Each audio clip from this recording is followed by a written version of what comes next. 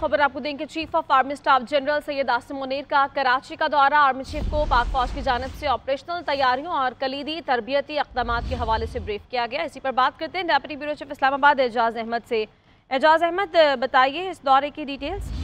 जी इश्तार की जानब से बताया गया है कि army chief general Syed Asim Munir ने आज कराची का दौरा किया उन्होंने Innovista Indus I T park का अफ्ताह किया, जिसमें वजी रसीद और दीगर रमायदीन भी मौजूद थे। आर्मी चीफ का ये कहना था और वजी रसीद का भी ये कहना था कि माशी तरक्की में आई टी का ढाई अहम किरदार है और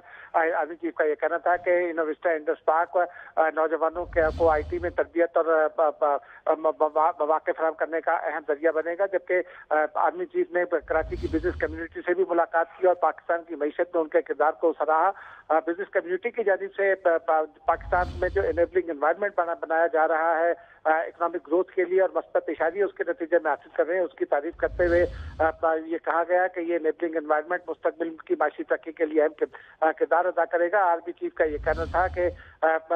फाकी और सूबाई हुकूमतें